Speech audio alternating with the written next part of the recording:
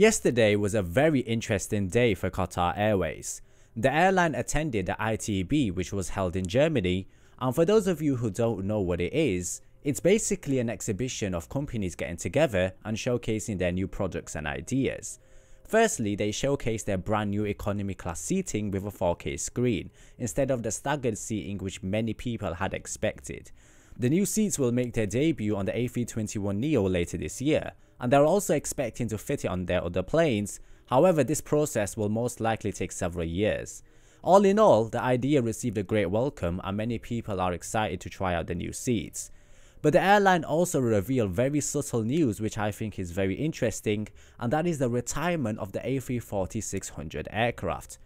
Now guys, although I do like Boeing, the A340-600 in my opinion is one of the most beautiful aircraft that Airbus has built. We can argue all day long on whether the A340 family was a success or not, but one thing is for sure and that is the plane is very beautiful. So currently they have 4 of the aircraft in service and they've been flying with the airline since 2006. However, due to the arrival of far more fuel efficient aircraft, the decline of 4 engine planes has steadily increased and it seems like the A340 is next on the chopping board. So they operate their A340s in a two class configuration and the plane is able to seat 372 passengers compared to 327 on the A350-1000. Majority of those seats come from economy class and due to the age of the aircraft, we know it won't be on the same level as their new planes in terms of cabin configuration and also amenities. So during the exhibition, the CEO of the airline, Al Baker, has hinted at the final routes that the plane will operate, and I'm actually quite surprised at the amount of detail that he gave. So on March the 31st, the last A340s will fly to Kuala Lumpur and Colombo from Doha.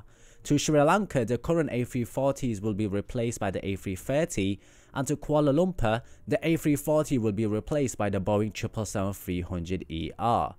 So if you're looking to get on an A340 flight before its retirement, the last flight will be to Bangkok on May the 1st. After that date, this flight will be replaced by the A330-200. All in all, it's always sad news when a beauty from the past is being retired. They're becoming so and so rare that there's very little chance of seeing them in the freighter market because demand for it barely exists. But nevertheless, captains, if you've ever flown in the A340-600, then do share your experiences with us and also leave your thoughts and opinions in the comments below. Thank you so much for watching my friends, like and subscribe and I'll catch you guys very soon.